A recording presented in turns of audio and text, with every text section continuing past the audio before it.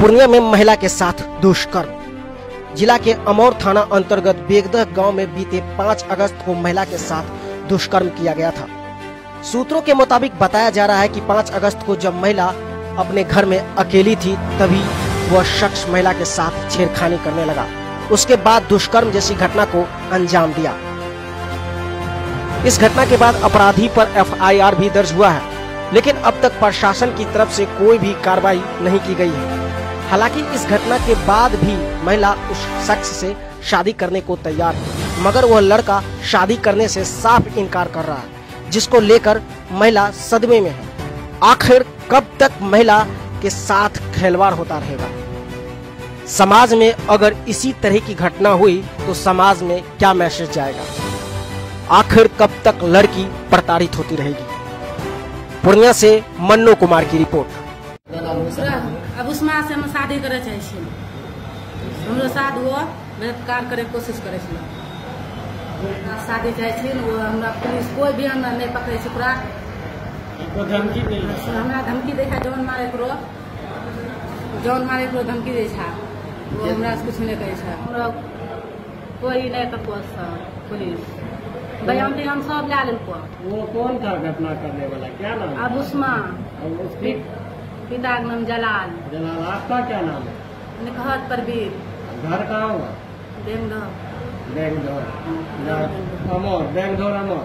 थाना अमर और वो लड़का किस गाँव का है जो आपके साथ है करके क्या? किया वो आपके साथ? ये बताइए।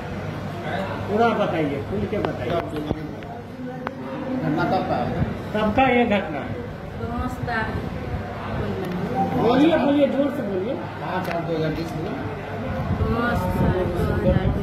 बीस। की घटना जो कि आपके साथ ज़बरदस्ती किया गया। ज़बरदस्ती। ज़बरदस्ती कर क्या ज़बरदस्ती किया बोलो। वो हमरो इज़्ज़त लूटलो एगो वो एलो हमरो दुआरी पर। दुआरी पर एलो वो बोली माय बाप कहाँ छू? कहली नहीं कोई। बोली कि कहाँ गेलू से हमरा कहली फला फला जगह गेली से यहाँ से चल जा।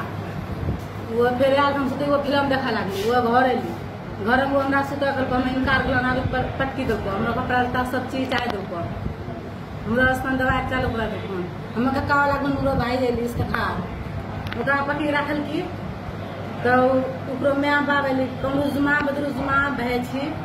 जलाल बाप छी फिर जा छी तो छोड़ा ले लगली। लेकिन बाद तो बोलली कि पंचायती हेती करालती रिश्ता। दोनों बच्चा अपनो छी। तो बोलली करालती पंचायती बैठल की तो पंचायती में नहीं ओकरो लेटर पे आपका क्या कहना है? बताइए। ये कहना है कि पुलिस कार्रवाई नहीं करता है पुलिस पता नहीं पैसा लिया क्या लिया नहीं लिया। और पीड़िता के कौन है? और उसका हम जीजा जी है। जीजा जी बताइए ये घटना हुआ था। इसमें कोई कार्रवाई नहीं कर रहा है।